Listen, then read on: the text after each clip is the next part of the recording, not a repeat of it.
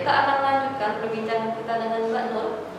Mbak Nur, boleh nggak diceritakan suka duka Mbak nah, sebagai aktivis perlindungan perempuan dan anak? Saya mengalami tantangan yang paling sulit itu adalah uh, ketika atau kita sering menyebutnya di orang rimba gitu ya edukasi misalnya khusus terhadap hak hak anak ini kita nggak bisa ngomong kayak gini mbak tapi harus mempelajari bahasa mereka kemudian membawa eh, gambar-gambar uh, gitu ya bahwa oh ini yang betul ini yang keliru ini apa yang harus kita lakukan gitu ya nah itu yang paling bagus nah dan itu juga kita kaitkan dengan uh, situasi di mana mereka tinggal karena mereka kan nomaden ya uh, berpindah-pindah tempat gitu ya itu nah yang terakhir itu yang saya tangani adalah uh, ini bareng dengan teman-teman Save Our Sister ya.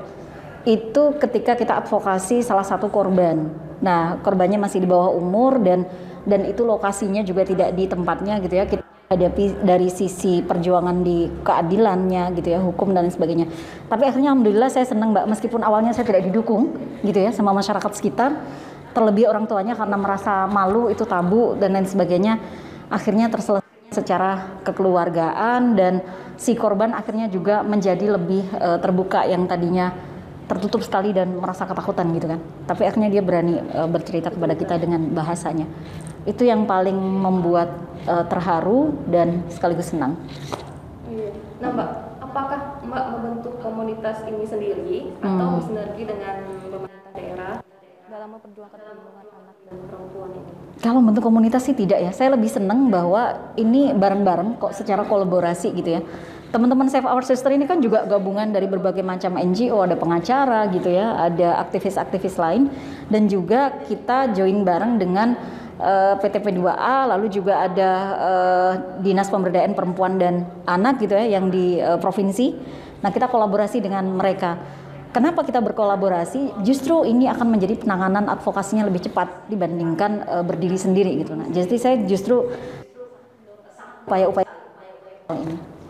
Oke, baik nih Mbak. Terakhir ini Mbak. Oke. Harapan Mbak Nur uh -uh. untuk anak Indonesia umumnya dan khususnya untuk anak-anak di Jambi. Iya, iya.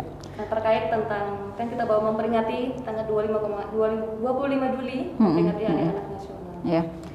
Uh, pesan saya adalah bijak menjadi inspirasi bagi anak gitu ya kalau kita di orang tua kalau jadi guru juga jadilah guru yang baik yang mau mengedukasi dan e, mengelola budi pekerti kemudian juga e, mengarahkan gitu ya anak untuk menjadi generasi yang lebih baik gitu ya bagaimanapun juga kalau nabi itu kan menyebutnya e, al um madrasatul umat gitu ya jadi ibu itu adalah madrasah atau mengenalkan dunia pertama kali pada anak. Jadi tanggung jawab menjadi perempuan dan juga sebagai ibu itu adalah mendedikasikan diri untuk membentuk generasi yang lebih baik ke depan. Itu Mbak. Oke, baik. Mbak atas yeah. waktunya untuk perbincangan kita hari ini. Sama-sama. Terima kasih juga nih Mbak sudah berkenan hadir ke, studio kita. Iya, yeah, baik. Ini. Baik, terima kasih. Oke. Okay.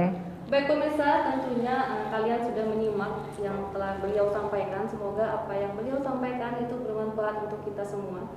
Pemirsa, sayang sekali waktu kami menemani Anda telah habis. Uh, saya dan kru yang bertugas hari ini pamit undur diri. Mohon maaf jika ada salah kata.